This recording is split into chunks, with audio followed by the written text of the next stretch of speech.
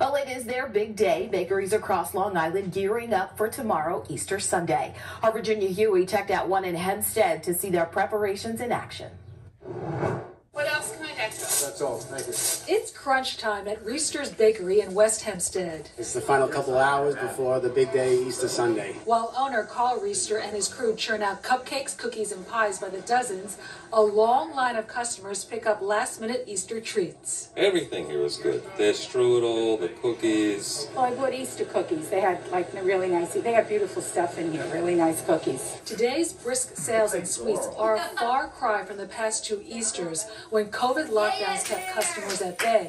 Riesterer's bottom line took a huge hit. We were down 50% in the first year. Uh, the, the following year, we saw a 30% increase, but it was still a 20% decrease from pre pandemic numbers. I'd be out on Hempstead Avenue waving, come on in, we're open, come on in.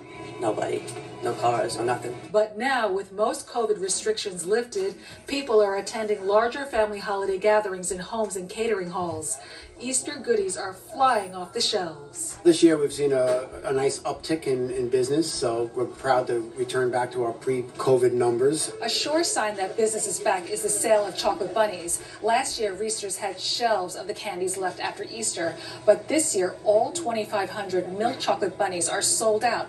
There are only a few dark chocolate bunnies left. It's a good reason to eat too much chocolate. John Collins says Easter will be especially wonderful for his family this year. We're going to be together. That's going to be nice. Uh, not on Zoom, so that's going to be nice. In West Hempstead, Virginia Huie, News 12, Long Island. Well, the owner says those lamb cakes are also popular this Easter as more people revive holiday family traditions.